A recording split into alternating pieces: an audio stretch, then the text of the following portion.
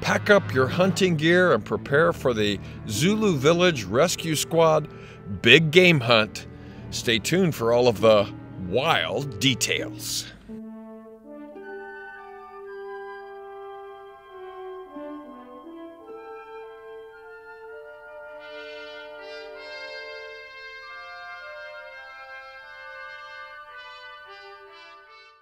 Here comes this week's academic accomplishments. Remember, you can go to the small version of the newsletter and actually click on the links that your child is using in class each day.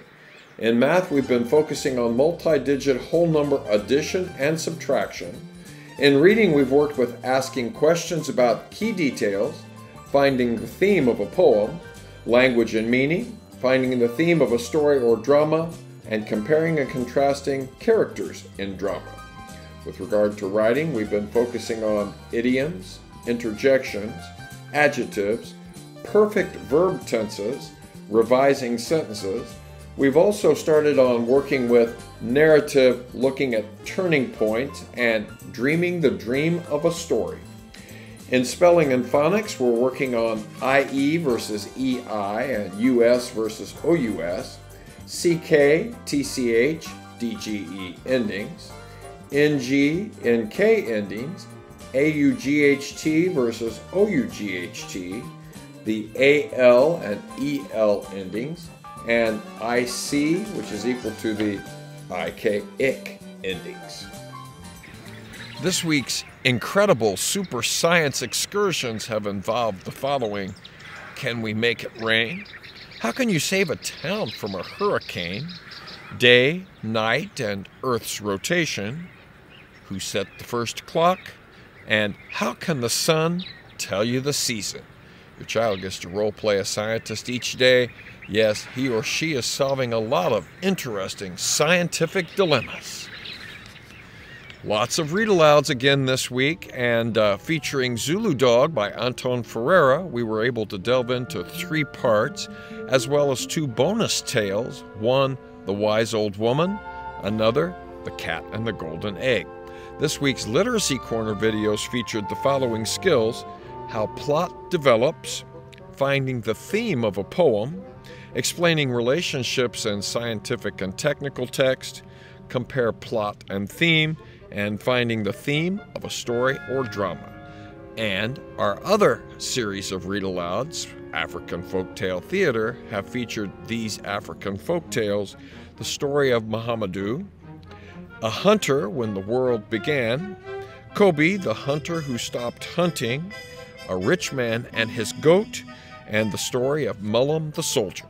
Remember, you can access the links to all of these read alouds by going to the small version of Mr. McCoy's Summer Adventure Log. Many young kids have trouble sitting still and staying focused. For that reason, there are five ways to help your child stay focused. They are as follows Get the yayas out first. Moving the body motivates the brain. Try having your child walk or bike to school, play outside after school, do chores around the house, or play on a sports team. Make sure your child has had a chance to run, walk, or jump before sitting down to doing schoolwork. Turn off screens and cell phones. Before your child tackles homework or does anything that takes concentration, turn off the television or if others are watching it, make sure your child is far enough away that he can't be distracted by it. Also, shut down and move him away from the computer, and if your child has a cell phone, make sure that's off too. Make a to do list. Having a lot of chores and homework assignments can be overwhelming for kids. Help your child focus on getting things done by making a list together of everything he needs to do for the day or week. Then let him cross off each task as he finishes it. Use signals Try to avoid conversations when your child is working. Uh, work out a system of nonverbal signals that both of you understand. And take breathers. During homework time, make sure your child takes a few breaks after working for 10 or 20 minutes, depending on his age. Have him get up and move around, get a drink, and then get back to work. There's more about how you can help your child improve his or her math fluency in this week's edition. This week's article features the following It's important to remember that math fluency is so much more than simply memorizing math facts.